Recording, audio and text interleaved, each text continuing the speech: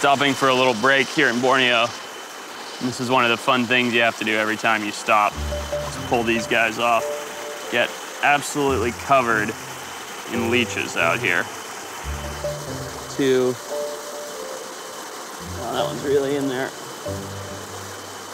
Three.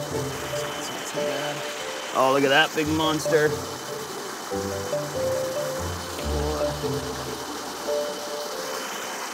That's just off of my sock line. Wait until I get all my clothes off later tonight at camp. Pretty gross. I'll take a I'll take a cobra or a viper over a leash any day. After finding the Sepan earlier today, I've decided that that is by far the best location to find this langur. And the reason being that is the highest concentration of minerals, and these animals need those minerals to digest their food. So instead of go back to the research station, we're getting a break from the bees, and we're camping here downriver from where the Sepan was.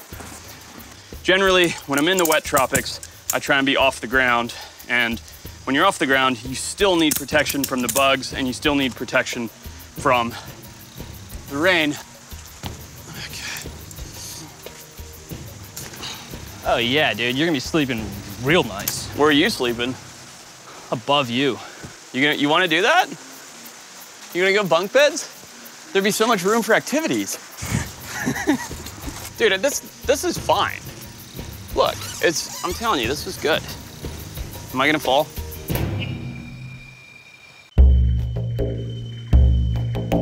It's our third day of monitoring a natural mineral deposit called a sepan. I'm hoping it will attract the Miller's grizzled langur that I heard calling in the distance a few days ago. And at this point, I think Mitch and Mark would rather sleep with the bees back at the research center than spend one more night here in the bush. How many leech bites have you got while we've been staking out the set Sepan this week? Mm, over 50. Just another day in the office.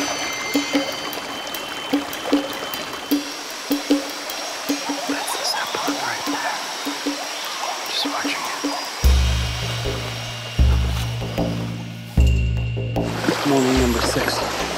I mean this up on. It's not getting any easier. Uh, morale's not very high. But I feel the bottom of my heart that this is the place we need to be looking. It's very bored. I am very bored. We've now been staked out for days, and no Miller's grizzled Langur. No Langurs at all, in fact. Not even any white-fronted or Hose's langur, which are endangered, but can be found here in Borneo. Looking for an extinct monkey that lives in the treetops has just been unbelievably difficult. So I've just started to pick up my trail cameras. This is four of about 45 that I have out. They're all over the jungle, on game trails, on these sepans, on mineral deposits, on waterfalls. But this has just been a monster of a challenge. I mean, from all the bee stings that you can see all over my body, the crew has been getting stung up. This is one of the densest jungles in the world. My neck is sore from craning up looking. And although I've seen the brushes move up where the animal should be a number of times, I've heard it.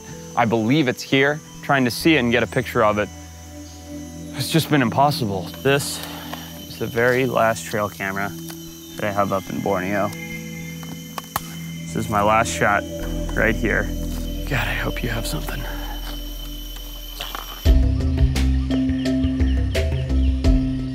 All right, I've just got back from collecting everything. Um, I checked the fur traps. One of them does actually have something on it. It's reddish brown, so it's definitely not our langur fur.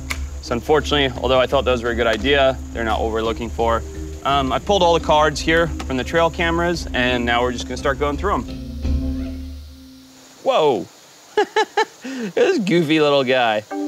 I've got some crazy species of squirrel here, and there's a lot of different species of squirrel in Borneo. And to be quite honest, I don't know what species he is.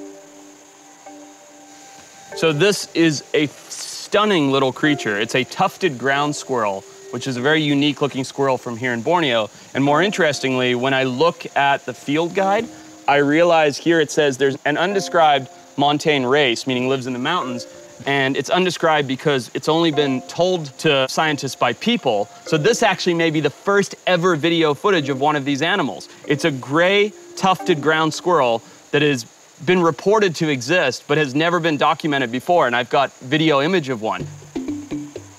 This is huge. This is the first ever video footage of an undescribed species of tufted ground squirrel. No wonder I couldn't recognize it in the book. While it's not the Miller's grizzled Langur, it's still pretty cool for us animal lovers. That's really neat.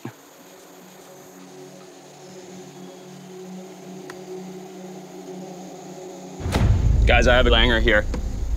I have a langur. His back is to me, so I can't see if it's a Miller's. It could be a white fronted because all I can see is his back as he's crouching down, but this is this is a langur on the Sepan. Oh my goodness.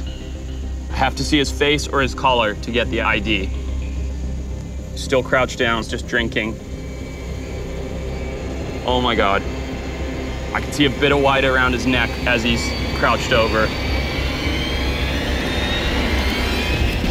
Yes! Yes! Yes! Yes! Yes! Yes! Yes! Yes! Yes! Yes! Yes! We got a Miller's! Yes! Woo! Grizzle Langur right here in Borneo, guys. Yes!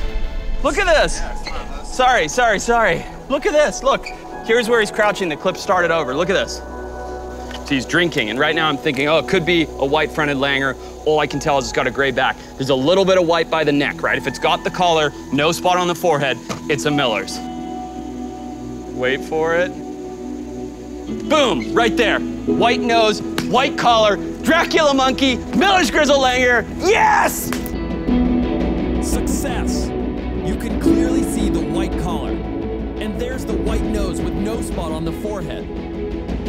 And I'm finding footage of the Miller's Grizzled Langur at night as well. There's still four more clips. Here I've got a perfect full front look at him at dusk, still alive, here in Borneo, on trail camera, five different videos of him, day and night, 100% proof. As thrilled as I am about our discovery, I've got to hold it together to make a very important phone call. Hey, Stephanie, it's Forrest Galante. Yeah, I'm sorry it's the middle of the night, but I thought you might want an update from the field. Yeah, we set some trail cameras, it's been good, and we got the Miller's Grizzled Langur. I swear we did, we got him on camera. Borneo is absolutely incredible. And although there are large tracts of deforestation and habitat loss, there are also these unbelievable isolated pockets of virgin forest. Within them, there are amazing species like the orangutan, the undescribed tufted ground squirrel, and of course, the no longer extinct Miller's grizzled langur. This is all thanks to people like Stephanie at UWash, to Eric Fell, the student who first photographed these incredible animals, and the Dayak tribe, who are protecting this amazing jungle. It just goes to show that young scientists around the world, young people who care about wildlife, even with no knowledge, can make a difference.